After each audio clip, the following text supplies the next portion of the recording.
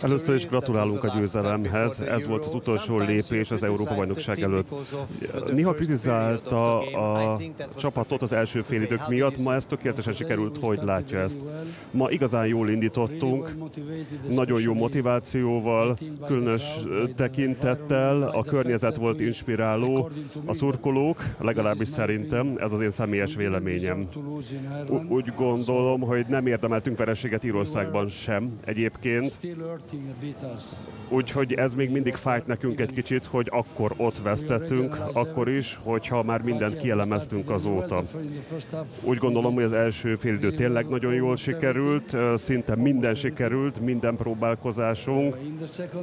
A második félidőt illetően azért is, mert sok cserét alkalmaztunk, volt néhány automatizmus, amelyeket nehezebben találtunk meg, de ennek ellenére úgy gondolom, hogy senki nem panaszkodhat, hogyha azt mondom, hogy például Rolit vagy Dominiknak a leszedését megléptem, és ez nem egy egyszerű döntés. Nekem se, senkinek se valószínűleg.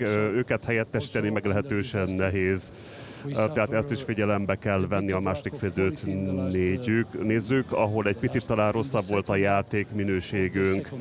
Tehát a második félidő második felének a megnézésekor ezt mondhattam. De úgy gondoltam, hogy jó kezdeményezéseink ekkor is voltak, különösen abból a szempontból, hogy nagyon fejlődnünk kell a jövőben, még ebben a tekintetben is. Fogok a csapattal is beszélni erről, de biztos vagyok benne, hogy a következő meccsen még jobbak leszünk, abban a tekintetben, hogy volt néhány tökéletlenség. A második félidőt említette, mit gondol, mi a különbség, hogy a Szoboszlai Salai és Varga fönn vannak a pályán, és a egyikük sincs fönn.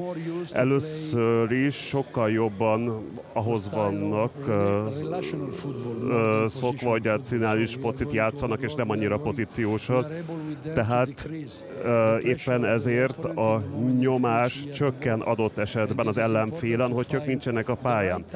Éppen ezért meg kell találnom azt a pillanatot, hogy jó időben történjen a csere például, de egyébként a jobb oldalon is jól játszottunk adott esetben a második fél időben, viszont az első fél idő ebben a tekintetben is jobb volt.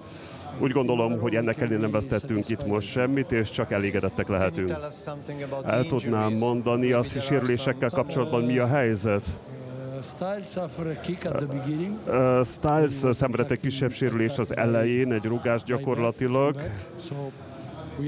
ugye egy támadásnál. Ezt meg kell néznünk, hogy ennek milyen hatásai lesznek, de úgy gondolom, hogy a többiek tekintetében a Dominiknál inkább csak fáradtság volt, tehát valószínűleg ő elég intelligens és okos ahhoz, hogy megálljon, miatt nagyobb baj lenne.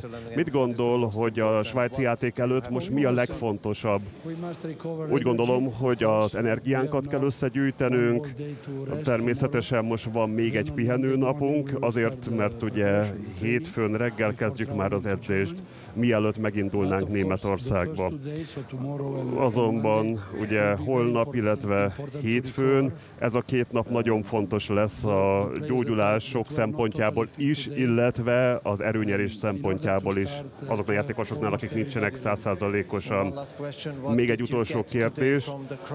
A szurkolóktól, amit eh, itt most kaptak a játék, illetve a meccs előtt beszéltünk, beszélünk arról, hogy mit visz magával adott esetben Debrecenből Németországba az EB-re.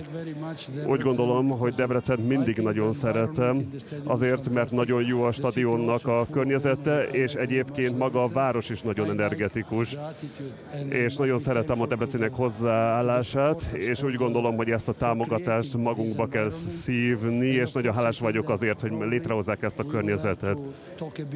Ezen kívül természetesen a federatív elnökkel is kell beszélni, mert úgy gondolom, hogy ha megyünk valahova játszani, van egy meccsünk, adott esetben vidéken, akkor ez még jobban megerősíti a szurkolók szeretetét irányunkba. Köszönöm szépen!